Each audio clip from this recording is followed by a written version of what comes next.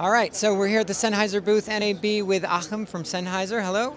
Hi, and welcome to NAB, and happy to introduce you to the cool stuff we have here. Yeah, so what's this? This device is the VR mic from Sennheiser. We showcased it first time at CES, and it got the you know cool stuff of CES award.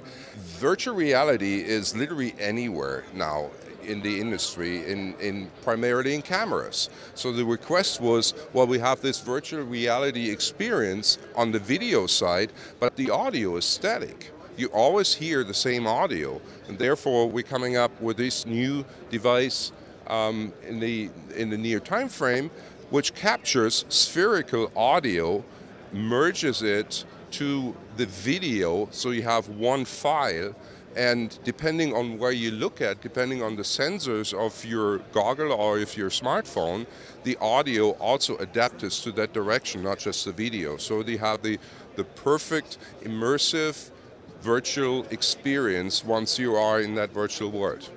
What kind of camera would this record to?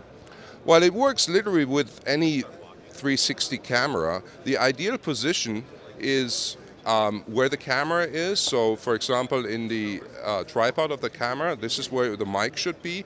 But it's independent if it's a Ricoh camera or a GoPro Sphere. It, it's not specific for a certain camera. It will work with any 360 camera. Cool.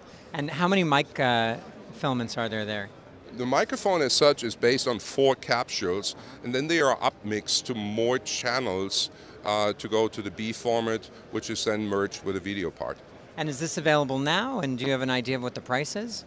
It's not available yet, and also pricing has still to be communicated, but we're currently working with content producers to test it, to finalize it, and we will launch it at the end of this year, most likely. Awesome. Okay. Virtual reality from Sennheiser. Thank you.